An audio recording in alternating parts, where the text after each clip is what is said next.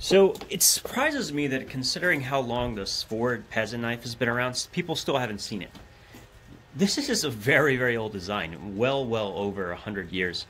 And it's tried and true, and man, I absolutely adore it. The one thing we never focus on in everyday carry is ergonomics. We like the looks, you know, we like the steel, but when it comes to comfort, these are my favorite knives. If I ever want to go into the woods and actually do some real heavy work for any period of time, these are the knives I like to carry. In fact, uh, we've already had a lot of use out of the Peasant already, as you can see.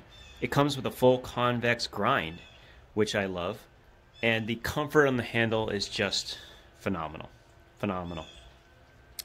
It does not have a 90 degree spine. I should mention that. However, it is very, very easy to do. Uh, what I and actually what I recommend, and I've done in the past, is add a 90 degree spine to the back here, and that way, when you close it, that whole 90 degree spine is buried inside this very comfortable handle.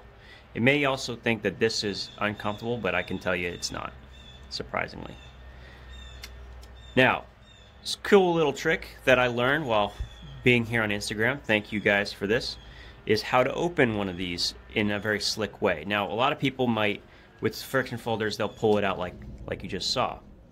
But there is a better way you can open this that is far better. So you hold it with the back of the spine against your hand and simply pull the handle down.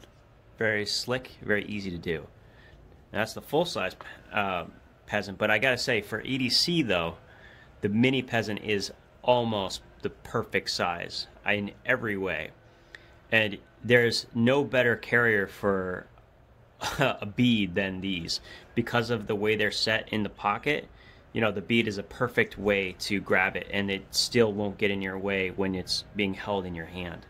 So it's just an awesome way to do it. And once again, we have the opening system with this. Now, I be I these are my personal versions, and I have used them quite a bit. But you'll be getting your own pair as part of the EDC gear draft coming up if you choose this item. I'll put some information on that in the end. And I just want to say a big, big, big thank you to Svord Canada for sending these from from um, far away to participate in this gear draft. He's definitely my go-to guy for all this Svord stuff and it's just awesome to be able to patronize someone a little bit more local who's who's really passionate about these knives in particular. I, I am I'm I'm very much a, a knife like steel snob, if you will, but there's something amazing about the carbon steel that's in these. They just take an edge like nothing else, and they are a absolute just dream to use on any kind of woodscraft. I highly recommend it if you're a woodsman or you are some someone who likes to work with wood. Get yourself one of these or try your luck at getting one of the seven slots in this gear draft.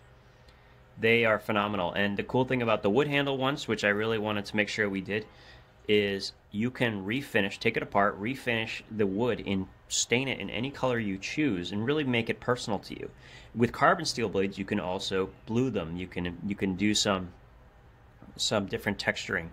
So this is a wonderful knife. And ever since I've started carrying a Svord, I've never even looked at an Opinel um, because unlike those, I can easily one-hand this while being legal anywhere in the UK and a lot of other countries as well. So it's still an excellent blade that I can carry in most places and I enjoy it. I really do. I think it's got a great aesthetic to it. I think it pairs incredibly well with leather goods. But definitely take a look. I think you will enjoy stuff from Svord.